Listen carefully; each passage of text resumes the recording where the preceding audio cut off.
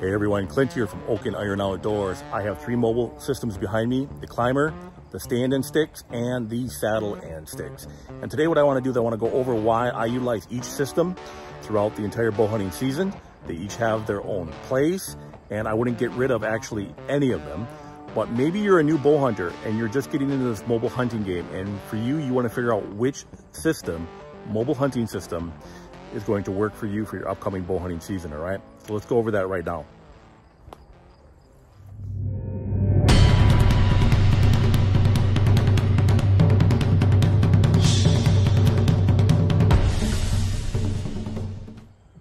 So the first one I'm gonna talk about right now is the climber. And the climber, for me, its primary purpose for myself as a mobile hunter is to carry cargo. Essentially, I call it the semi-truck of the mobile hunting game because I can put so much on here and carry it in the woods, all right? And the other thing is it has that very thin profile and I have my backpack straps on the back here. Not all climbers are created equal, all right? So what I really like about the Lone Wolf is the narrow profile, all right? How narrow this is. And what that does for me is it keeps this close to my back. So when I carry all of my cargo, okay, on the back side of this, it still doesn't feel as heavy.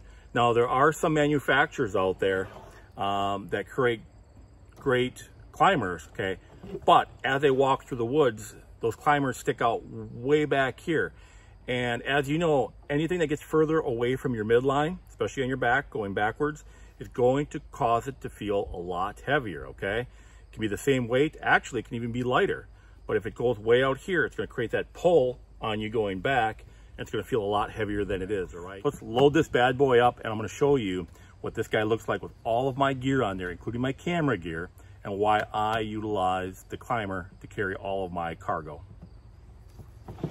So, if you look closely, I have a heavier hunting coat, my heater bodysuit that still has a little bit of the blaze orange on it uh, from rifle season from last year.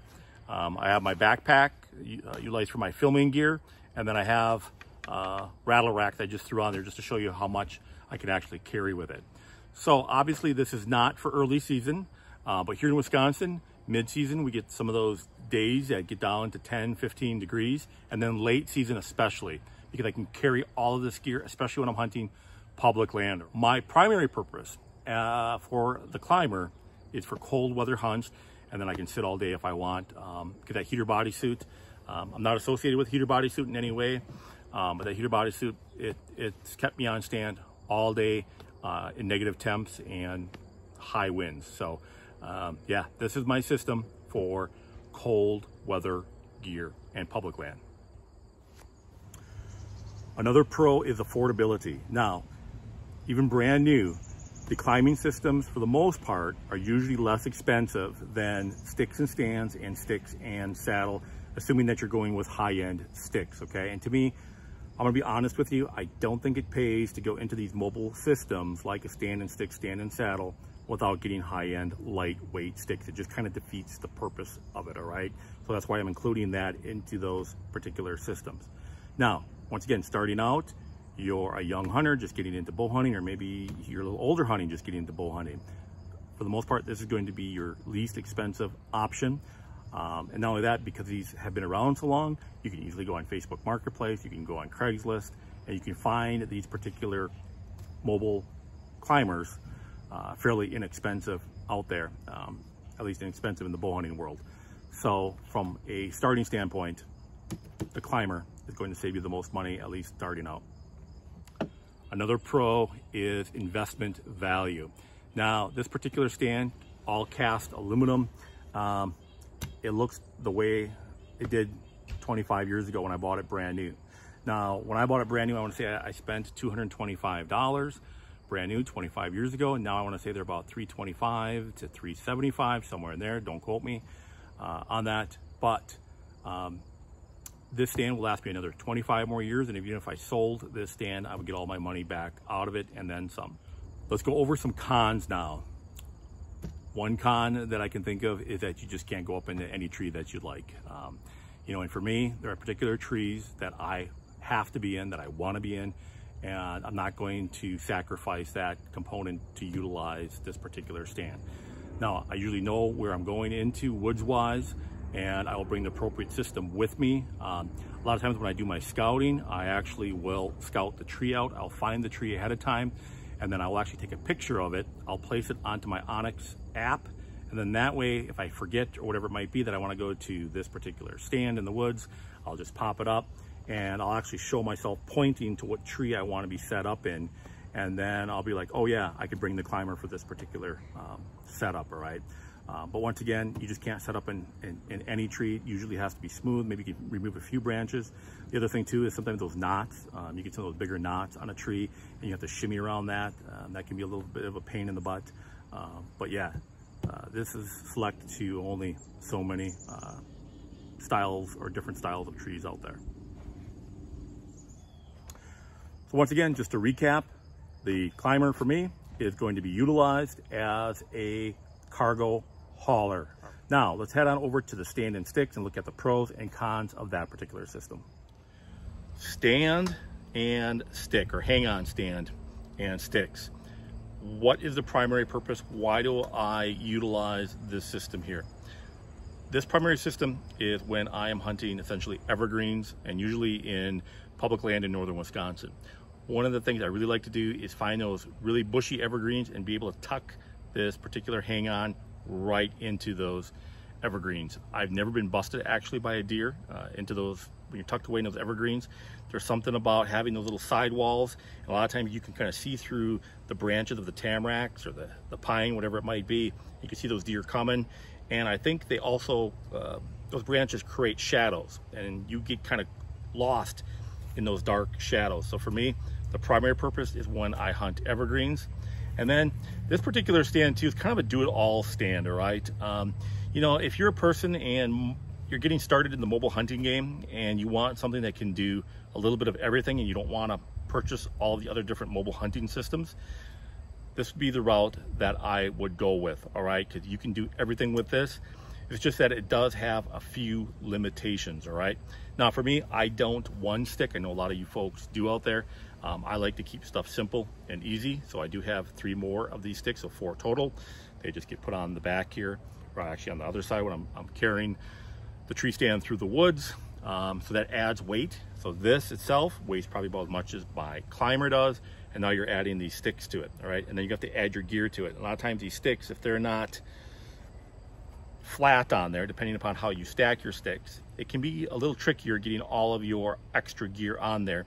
For instance, like if I want to carry the heater bodysuit, my backpack, other little goodies that go on the back. Um, but it can be done and it's not really that difficult, all right? So folks, I'm sitting right now in the Hang On uh, Novix Echo stand, and I'll tell you right now, this is just kind of getting me into that feeling of wanting to be in the woods tonight, bow hunting. Uh, but as we speak right now, this stand is super stable, super quiet, um, comfortable, comfortable enough at least. And the thing of it is, I'm utilizing this stand if I'm doing my all day sits, all right? Or another thing that I like to do on private land spots is I'll take the stand up. This is another pro. Is I will put it up, hunt out of it that afternoon, evening hunt. I will leave it already set up, okay?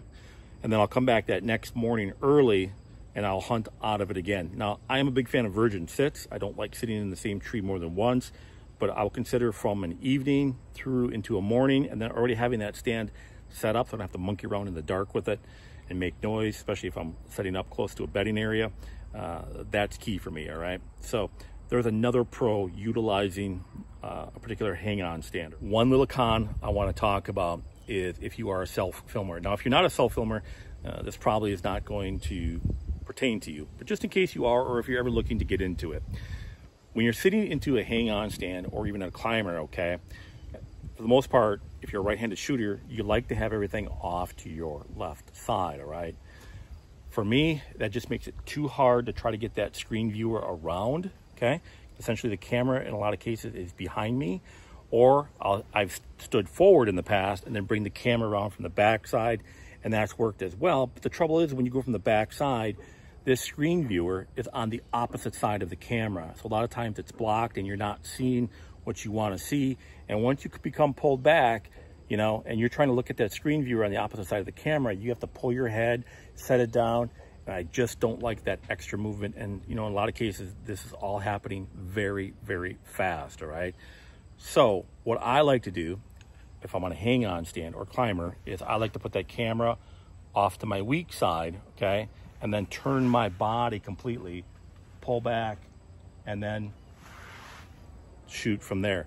Now, the only thing is, is that kind of limits you a little bit from a hang-on stand perspective to always have those deer coming from that side because if you bow hunted long enough, you know they come from any direction and sometimes even the directions you totally don't expect, all right?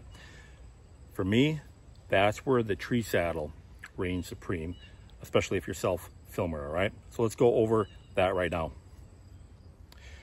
So my primary purpose of the tree saddle is for self-filming. And that's the goal of Oak and Iron Outdoors. I say one of the goals is to get my deer essentially on camera. And this allows that perfectly. So once again, viewer on my strong side. I can put my bow right here. That's on my strong side. And boom, I'm ready to go. Very little movement makes it much easier. And I can move that camera in any direction and essentially have it on my strong side. Now, the cons of the tree saddle, all right? Evergreens, once again, sticks and stands, best for that. This is very hard to get into a lot of thick evergreens that I like to be in. And then the other thing is cold weather gear. I love my heater bodysuit for those really extreme cold temps. And it's just impossible to get into the heater bodysuit and then being in this tree saddle. So once again, that's what the climber essentially is for, or even stick and stand as well, all right? Then the last con I would like to say is that this system becomes quite expensive. Um, between the platform, the saddle, the ropes, the tethers, and then the sticks, um, it's the most expensive out of all of the three, depending upon which route you go. Now, I know there's some more inexpensive saddles. The one thing I would say about saddle hunting is if you get into saddle hunting, um, and I'm always looking at value, but saddle hunting, don't chintz out, all right? go and get the best system, saddle system you can afford, especially if you're going to gauge how you're going to like or dislike saddle hunting. Because there's a lot of manufacturers out there who just throw something out there and then people are complaining about hip pinch or they're complaining that the sticks don't have enough standoff and it might be the sticks are too heavy, whatever it might be, go out and get the best system that you can afford if you're starting out in saddle hunting. It does make a big difference because comfort wearing these saddles are king. Um, this particular saddle uh, with a custom made saddle uh, for myself from Overwatch Outdoors. Um, the craftsmanship is unbelievable. It's outstanding. If you're going to get into saddle hunting, the one thing I would say is don't chintz out. Start with the best that you can afford, all right? Hey folks, this video wouldn't be complete if I didn't bring out my very first mobile hunting stand, and that is the Loggy Bayou. This particular stand was very popular in the 80s and early to mid 90s, and this stand was kind of the prime of its time. Um, it was lightweight, it only weighed nine pounds. Uh, seat actually would flip down. You'd put your feet into the bungee cord here, and then you had to be upper body strong and there was no handpiece. You just take your arms around the tree, hold tight, and then shimmy your legs up and then keep doing that. And uh, yeah, if you weren't upper body strong by the end of fall, uh, you were upper body strong. And you know what? I was 17 years old when um, I purchased this stand. I worked on a dairy farm down the road, saved my pennies that particular summer and bought this stand and then um, shot a lot of nice bucks out of it and had a lot of great memories from this Loggy Bayou tree stand. Matter of fact, I put this stand in a rummage sale years ago and uh, had listed for $40 and I had some guy offer me $30 for it and I said no. And looking back at it, I am so glad I did not sell this particular stand just because it has such a, a keepsake for myself. Hopefully this video has helped you decide on what mobile system is going to work best for you this fall, all right? If you folks don't mind, hit that subscribe button. I greatly appreciate it. I got some more bow hunting how-to videos coming your way. And then as soon as the season starts, I'm going to be showcasing my hunts and how my hunts are going this fall. And then try to get that big buck on video. Until next time, Clint from Oak and Iron Outdoors.